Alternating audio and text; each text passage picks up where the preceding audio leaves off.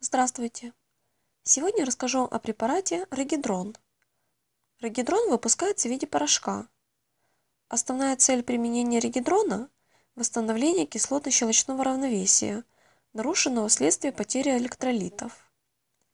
Применяется при восстановлении или сохранении водно-щелочного равновесия, при диарее, из-за инфекционных заболеваний, в том числе и при холере, для предупреждения нарушений pH крови и водно-щелочного баланса при обильном потоотделении, связанном с тепловой или физической нагрузкой.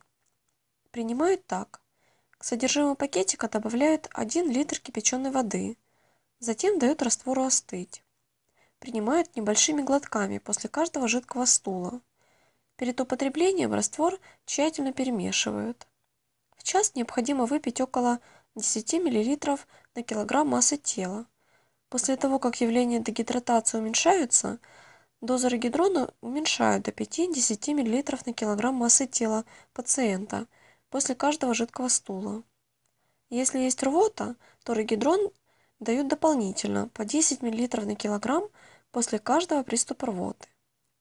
Противопоказанием является повышенная чувствительность к компонентам препарата – тяжелая дегидратация, гемодинамический шок, безудержная рвота, потеря сознания, непроходимость кишечника.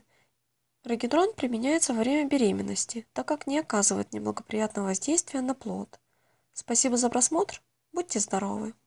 Ставьте лайки и подписывайтесь на наш канал.